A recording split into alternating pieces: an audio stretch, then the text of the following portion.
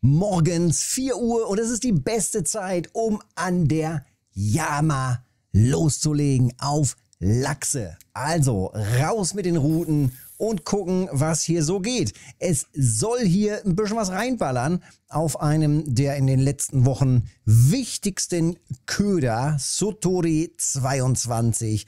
Und ich bin heute mit ein bisschen dickeren Setup unterwegs, in der Hoffnung auf richtig dicke Brocken.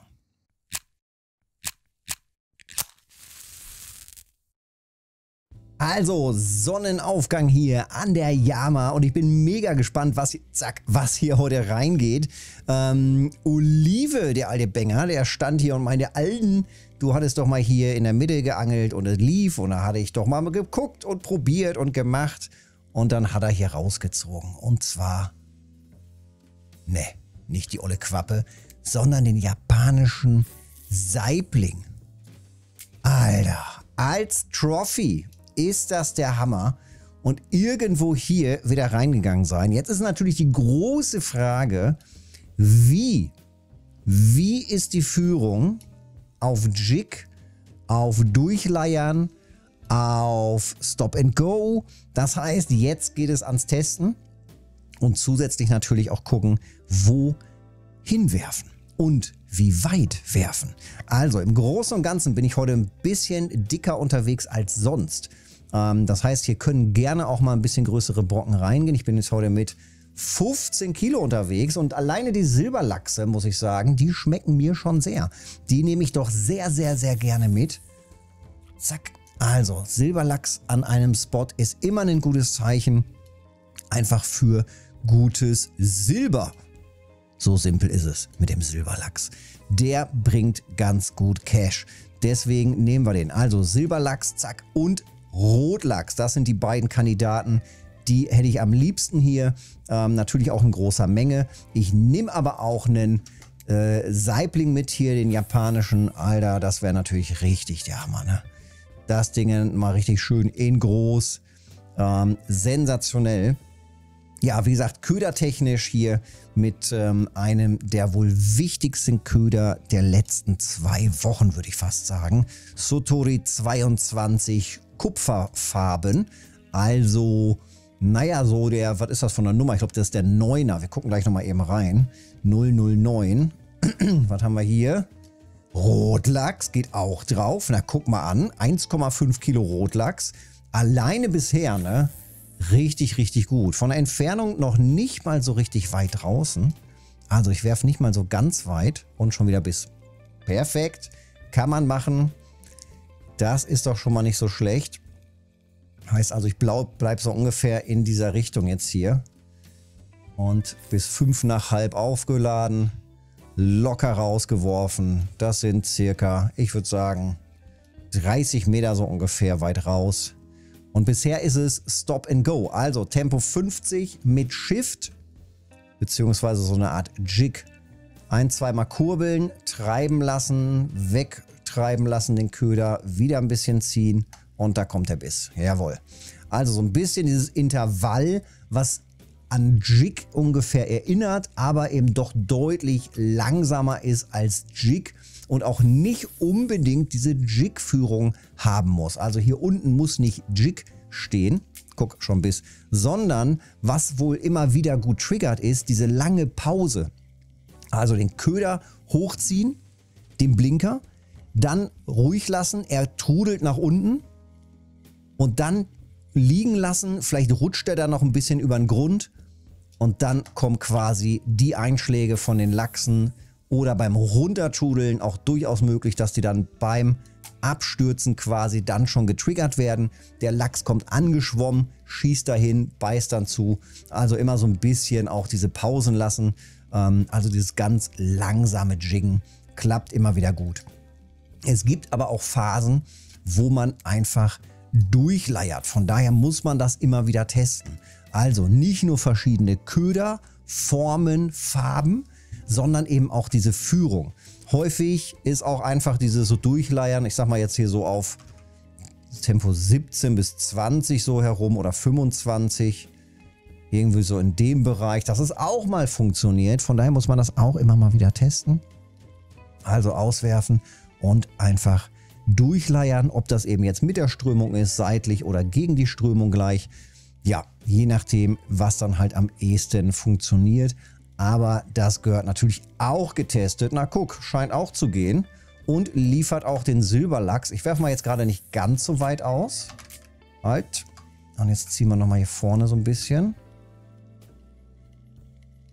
Vielleicht kriegen wir die ja sogar, wenn die hier im Nahbereich immer reingehen, vielleicht kriegen wir die ja nochmal ein bisschen gezielter angeworfen. Ich werfe nochmal so ein bisschen mehr so rüber. Und jetzt gucken, oder auch nochmal hier so ein bisschen mehr in die Richtung. Der zieht ja jetzt so eine Kurve. Und ob ich da jetzt gleich durch einen Spot irgendwie durchkomme oder nicht, ist halt jetzt die Frage, ob dann da in der Area die Silberlachse sind. Das wäre natürlich richtig nice. Das, das Schöne ist, wenn man hier mit der Stationärrolle ist und man hat eine Stelle und kann die immer wieder ausfindig machen beim Auswerfen. Man könnte auch mit der Stationärrolle natürlich einen Schnurclip setzen und dann sagen, okay, ich werfe jetzt immer auf 17 Meter, weil nach fünfmal Kurbeln auf 17 Meter geklippt habe ich immer einen Silberlachs. So ungefähr. Aber das wechselt natürlich auch. Ne? Also ich mache in der Regel hier keinen Clip, werf einfach raus. Ich merke mir, wie weit ich auflade. Wenn da was reingegangen ist, werfe ich halt wieder dahin, lade genauso weit auf.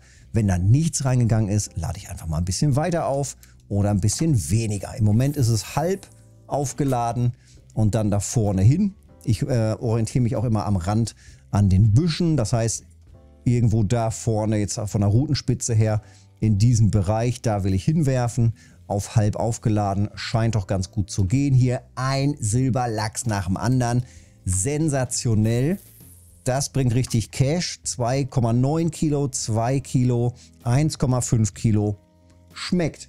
Kann gerne so weitergehen. Bis hin zur Trophy nehme ich auch gerne mit. Das ist doch richtig, richtig nice. Ja, Ganz wichtig, wie gesagt, Uhrzeiten, früh da sein, am besten 2 Uhr, 3 Uhr in der Nacht schon mal hinreisen, Spot raussuchen, hinmarschieren, pünktlich um 4 Uhr am Spot sein. Ähm, richtig früh morgens können auch mal ganz gerne diese seltenen reingehen, sowas wie einen Schereshnev-Saibling oder sowas. Die sind auch gerne mal früh morgens oder in den Abendstunden mal aktiver. Da ballern die auch gerne mal mit rein. Von daher immer früh da sein und direkt ausprobieren. Und weil ja die Zeit so knapp ist hier, deswegen natürlich auch ja, die maximale Zeit nutzen. Also wir haben 4 Uhr morgens bis ungefähr 23 Uhr und danach ist hier dunkel und danach ist dann auch Sense. Dann kann man sich hier vielleicht noch auf Grund mit denen auf die Quappen kann man sich hier hinstellen oder natürlich dann nachts jetzt hier auch mit den Posen das natürlich auch noch ein bisschen probieren.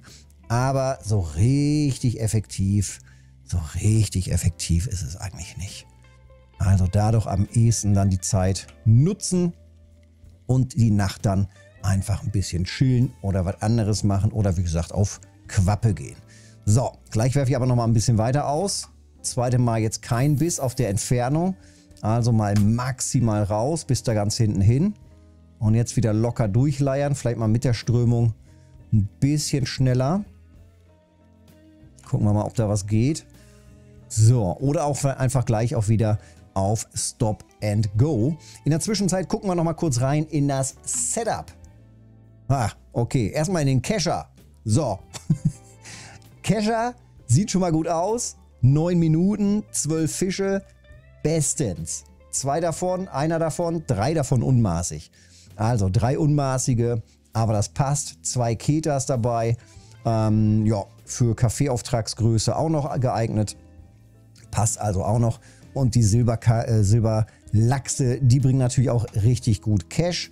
So kann das weitergehen. Vom äh, Setup her bin ich jetzt heute hier mit Fluorocarbon natürlich in 15 Kilo unterwegs, 35 cm Länge das Vorfach. Ähm, nicht ganz so lang diesmal gewählt. Und hier jetzt ähm, vom Weihnachtsmarkt noch 500 Meter, 15 Kilo geflochtene Schnur.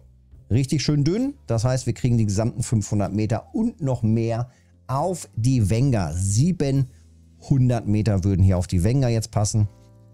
Wenn man hier mit vergleichbarem Setup unterwegs ist, ähm, geht dann natürlich oder mit einer anderen Rolle geht da natürlich vielleicht nicht ganz so viel raus.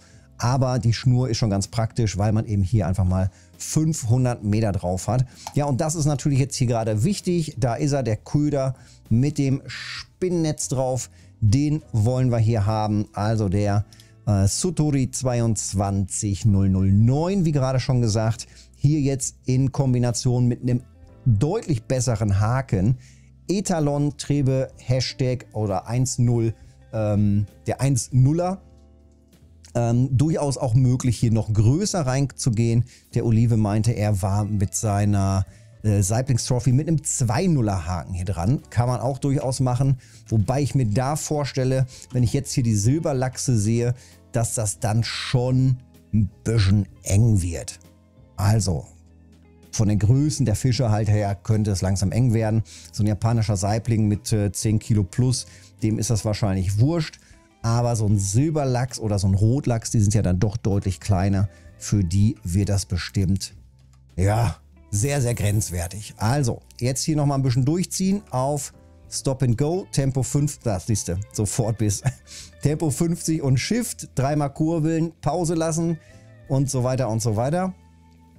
Und dann gucken, was hier noch alles reingeht. Ich nehme einfach alles mit. Ich teste aber auch jetzt, wie gesagt, verschiedene Entfernungen. Im Großen und Ganzen ist das so schon richtig, richtig nice und klappt auch sehr gut. Wenn du diesen Köder nicht hast, wenn du was anderes testen möchtest, auch natürlich immer eine sehr, sehr gute Idee. Testen ist immer das A und O.